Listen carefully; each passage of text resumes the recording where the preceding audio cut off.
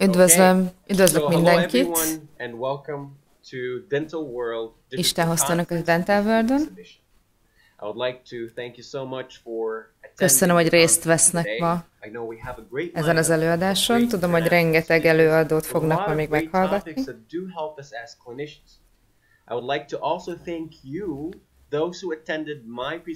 Külön köszönöm azoknak a jelenlétet, akik ma itt a vannak velem. So, Szeretnék bemutatkozni. Dr. Sam Omar vagyok. Általános fogorvos vagyok. Kairóból, Egyiptomból érkeztem. Protetikai részlegen dolgozom a Kairói Egyetemen. member of the R2 Digital Centers Development Tagja vagyok az and Education R2 team. fejlesztési R2 és Gate, ö, R2 Digital oktatási csoportnak.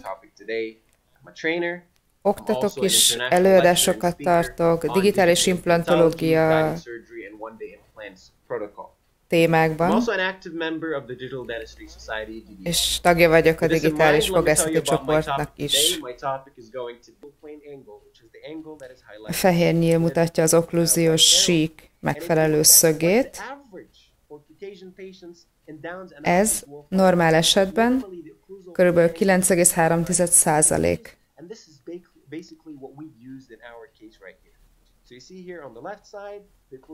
Látható, hogy a szoftveren beállítottuk ezt a 9,3 százalékot, bocsánat, fokot. With this in mind, this is basically how that looks like inside of our R2 software.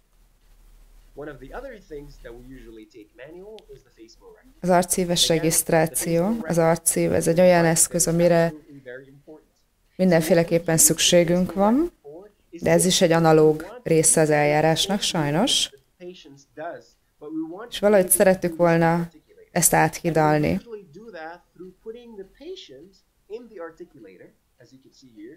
A módszer lényege ugye eredetileg az, hogy a paciens fejét, koponyáját tudjuk modellezni az artikulátorban.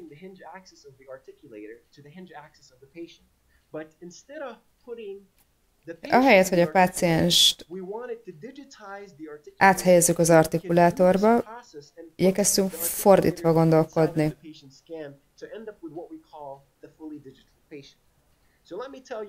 Hát mit csináltunk a DOD-vel?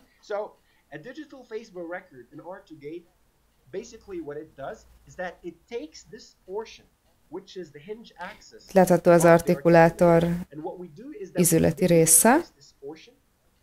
as you can see here, and then we move that SDO file, and we also Ezeket a referenciapontokat át tudjuk vinni a szoftverbe, our digital patient.